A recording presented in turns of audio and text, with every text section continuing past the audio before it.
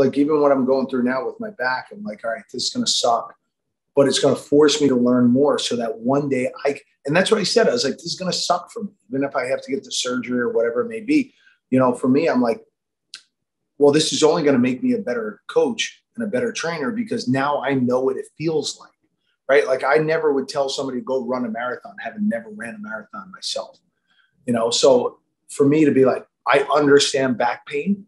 I understand what could come of it and I, I deal with the repercussions of that. And I want to be able to help as many people as I possibly can. My clientele is, you know, 35 to 55.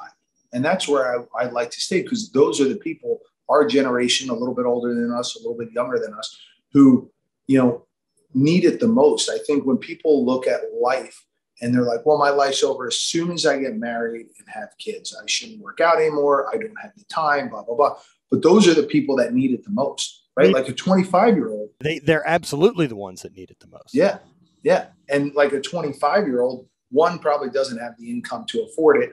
Two doesn't really need it because they're not at that point where they're fill, falling apart already. It's like, oh, I got a couple kids. I have what? Like for me, it's like here, I'm going to get you in, get you doing as much eh, many good things as you possibly can that'll keep you maintained and keep you healthy and then get you out the door because I know you're a busy guy or a busy girl, whatever you have going on.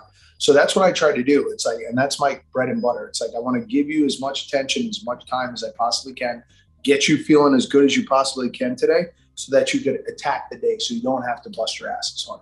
Um, I, I love that mentality that you're talking about there, right? That like, I'm going to get you to feeling as good as I can.